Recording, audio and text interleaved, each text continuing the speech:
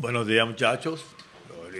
Contento después de ya ganó Karina, ahora vamos por más.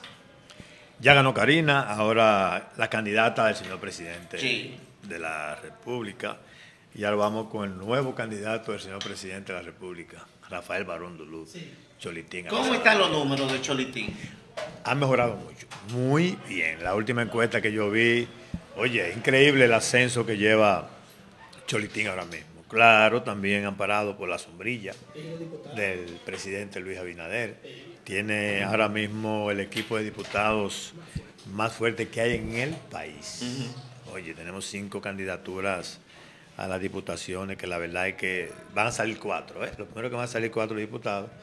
Y el menos o la menos valorada de los diputados está mejor valorado que el mejor valorado del Eh. PLD, aunque eso suena un trabalengua. Sí, sí, repítame esa parte. El menor o la menor valorada, porque es y Sí. hembra, del PRM está mejor valorado o valorada que el mejor valorado del O Partido sea, con poca de la Liberación podría decir Dominicana. que se cuelan los cinco.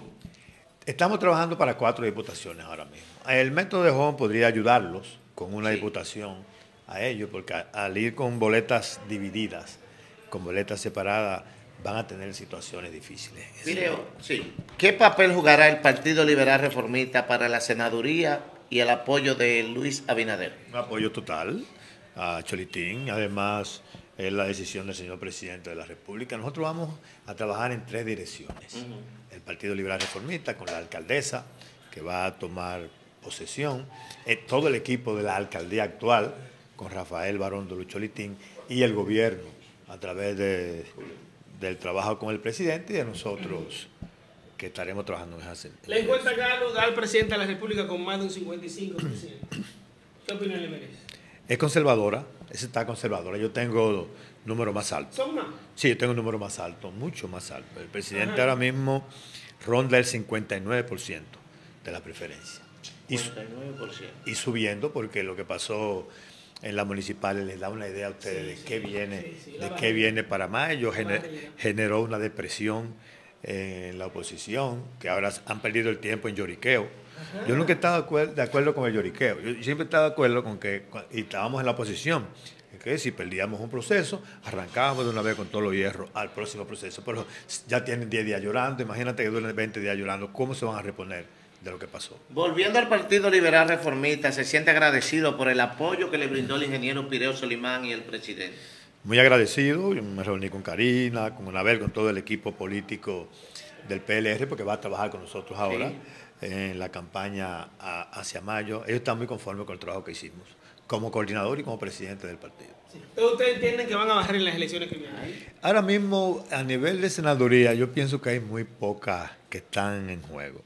Quizás San Juan, porque la romana, que yo pensaba que estaba en juego, Romana ganó todo en este pasado proceso. usted dice PRD que- ganó todo ya. todo. O sea que yo entiendo que Romana ya es una senaduría que va para el Partido Revolucionario Moderno. La del Distrito Nacional, ya ustedes pudieron ver cómo están los números. Ya Guillermo Moreno aventaja por mucho a Omar Fernández. Sobre el caso que se está dando ahora mismo en la provincia, aquí en el municipio de cabecera, sobre el caso del Choli, su opinión. Eh, Dice él que le robaron las elecciones y que lo dejaron fuera.